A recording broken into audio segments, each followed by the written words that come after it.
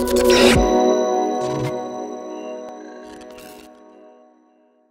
everyone, welcome to the Business Report Show. Um, this wasn't a planned video today, but I, I was looking at my stock portfolio and noticed that Tesla has hit a 52 week high. It finally went over the $700 per share barrier, and now it hit a 52 week high of 718. As of the time right now, it's pulled back a little bit to about 712, but this is a big gain. It's one of the market movers today. Uh, it's gone up just over 3% and a lot of people are following it right now. Now the volumes are a little bit lighter because it is uh, New Year's Eve, so there are less people trading on the platforms today. But still, at 35 million, its 100-day average volume is about 50 million. So the volume's just slightly under, but I think today Tesla is just ramping up. There's going to be some quick uh, profit taking, I suspect, uh, for the last hour here in trading. Uh, but I, I do suspect that Tesla's probably going to close just above 700 after I edited this video and posted on YouTube. Uh, but exciting news considering I just did a video on Tesla uh, last week just talking about how I'm still looking at it as a long-term play. And I think people looking at Tesla should do the long-term here.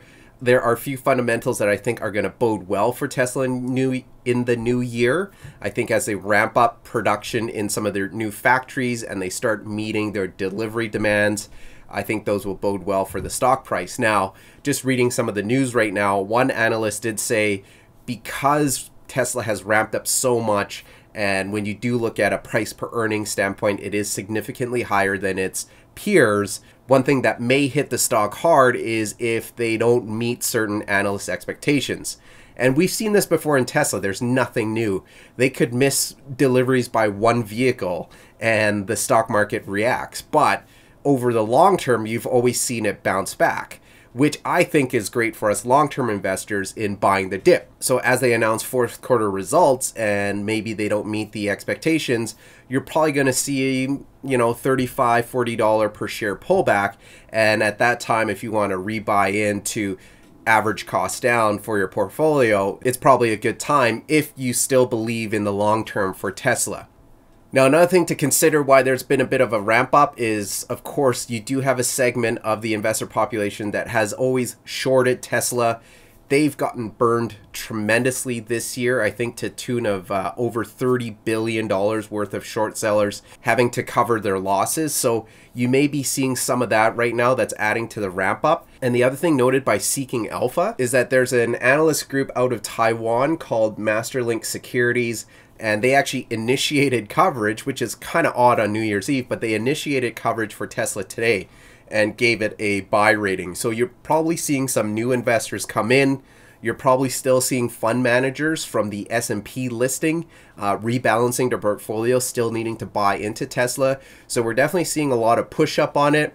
I suspect there's going to be some profit taking uh, in the new year just for some of the more short term investors in Tesla. So you're going to see a bit of a drop, I would say, on Monday, January 4th, when the markets open back up. And depending on how the market does for the first month, we'll probably see a continued upward activity for Tesla. So another interesting stat is this uh, stock push up today has increased Elon Musk's net worth. And it's interesting because it's climbed significantly this year. In December, he catapulted over Bill Gates and the Arnault family uh, to become number two for highest net worth, right behind Jeff Bezos, and that was about 154 billion in December. And as of today, it looks like he's at about 167. Bezos is still about at 190, and Amazon price keeps going up. So I'm not. I'm pretty sure. Uh, Elon Musk is not going to catch up to Bezos uh, anytime in the next year, uh, but it's very interesting to see just this catapult of close to 140 billion in net worth this year alone for Elon Musk. So really good story overall for Tesla. I stand by what I said in my Tesla video. I'll put a link up here for you guys to watch that. And it's just my long-term take on Tesla. So that's it for today's video, guys. Just want to cover this uh, breaking news from Tesla. And don't forget to hit the subscribe button. Don't forget to hit the like button. Every little bit helps for my new channel. And I wish everybody a happy new year. Celebrate safely tonight. And we will catch you in 2021.